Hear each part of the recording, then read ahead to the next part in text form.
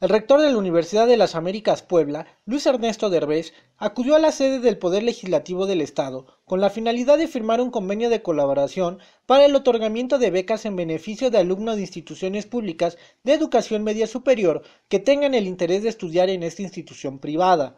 Con lo anterior, se dará oportunidad a 10 jóvenes de estudiar alguno de los planes de estudios ofertados por LUDLAB, con una beca del 95%, las cuales tienen un valor cada una de 750 mil pesos.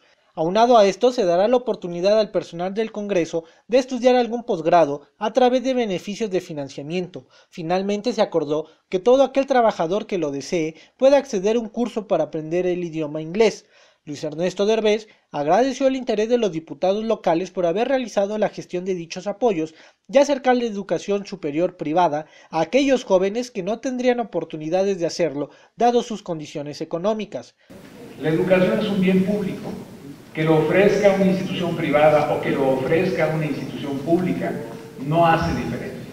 Lo que estamos haciendo es crear las condiciones para que la sociedad mexicana poblana sea cada día mejor.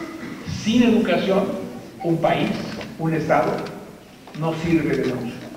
Perdería rápidamente su capacidad de adaptarse, de transformarse, de innovar, de crecer.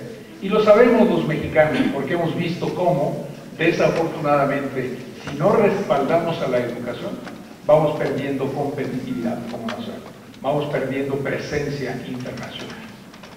En ese sentido, la Universidad de las Américas Puebla, que yo presido, está consciente del concepto de bien público de educación.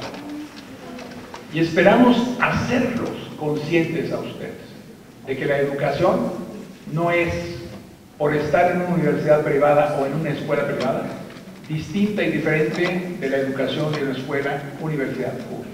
Con imágenes de Edgar Ramos, informó para Puntual Francisco Méndez.